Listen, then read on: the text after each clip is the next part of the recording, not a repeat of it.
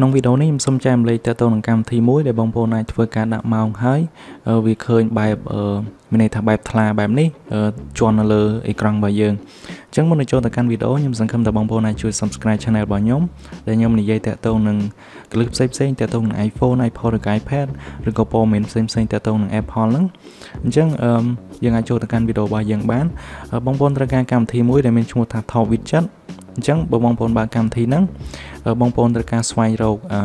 widget មួយហ្នឹងគឺធម្មតាពេលបើកមកគឺវានៅខាងលើនេះប៉ុន្តែមុននឹងចូលទៅកាន់ការប្រើប្រាស់បងប្អូនគួរតែធ្វើកន្លែង transparent នេះជាមុនសិនមានន័យថាយើងត្រូវការដាក់ background ហ្នឹងដើម្បីឲ្យវាមើលទៅថ្លាស្អាត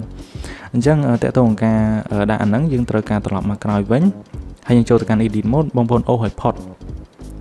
មានន័យថាអូសតតែឃើញអេក្រង់ទទេអញ្ចឹងយើងយើងថតរូប screenshot វាមកយើងចុចប៊ូតុង អឺតឡងសលេងហើយនឹង power នេះជាមួយគ្នាមកសម្រាប់ iPhone X អីចឹងណាអញ្ចឹងខ្ញុំថតហើយខ្ញុំត្រឡប់មកក្រោយវិញខ្ញុំចូលទៅកាន់ top widget ហ្នឹងវិញបន្តមកទៀតខ្ញុំចុចអាសញ្ញាបូកនេះដើម្បីដាក់រូបដែលខ្ញុំថតមុនហ្នឹងអញ្ចឹងគឺរូបមួយនេះពេលដាក់មកគឺវាសិតរួចហើយបន្ទាប់ពីដាក់រួចហើយបងប្អូនអាចអូសចុះក្រោមមកដើម្បីរក widget ដែលយើងស្រឡាញ់អញ្ចឹងដែលខ្ញុំចង់បង្ហាញហ្នឹងគឺ widget មួយនេះខ្ញុំអាច select យកវាមកហើយអ្វីដែលបងប្អូនត្រូវធ្វើអឺ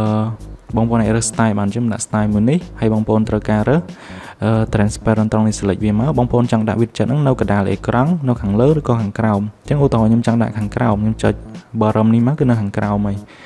ហើយបន្តមកទៀតខ្ញុំក៏ចុច save វាហើយខ្ញុំចុចខ្ញុំត្រឡប់មកក្រោយវិញអញ្ចឹងខ្ញុំសុំ remove អា widget zin វាសិនខ្ញុំក៏សកលលើវាហើយខ្ញុំចុចពាក្យ remove widget ហើយ remove វាមកបន្តមកទៀតខ្ញុំក៏សកលលើវាមួយទៀត ដើម្បីខ្ញុំដាក់ widget ថ្មីខ្ញុំចុចបូកហើយខ្ញុំត្រូវការស្វែងរក top widget ហ្នឹងខ្ញុំក៏វាយ top គឺចាញ់ហើយយើងអូសមកអញ្ចឹងមុនហ្នឹងគឺយើងរើសប្រភេទ medium widget គឺ widget ទំហំកណ្ដាលអញ្ចឹងយើងអាច select លើវាហើយខ្ញុំ scale លើវាមកខ្ញុំចុច edit widget តើមកខ្ញុំរើសអា widget មុនហ្នឹងណាអញ្ចឹងមុនហ្នឹងគឺខ្ញុំដាក់អានេះអា add clock 3នេះ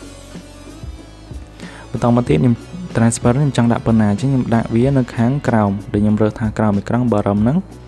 ហើយខ្ញុំត្រឡប់មកវិញអញ្ចឹងបងប្អូនឃើញថាវាអត់ត្រូវទេដោយសារអី widget យើងទៅនៅខាងលើអញ្ចឹងយើងអូសវាមកក្រោមវិញមកខ្ញុំសង្កត់វាខ្ញុំអូសមកក្រោមអញ្ចឹងខ្ញុំចុច done បងប្អូននឹងឃើញថាវាឃើញស្មើស្អាតហើយអរគុណច្រើនសម្រាប់ការទស្សនាខ្ញុំជួបបងប្អូនទាំងគ្នានៅវីដេអូក្រោយទៀត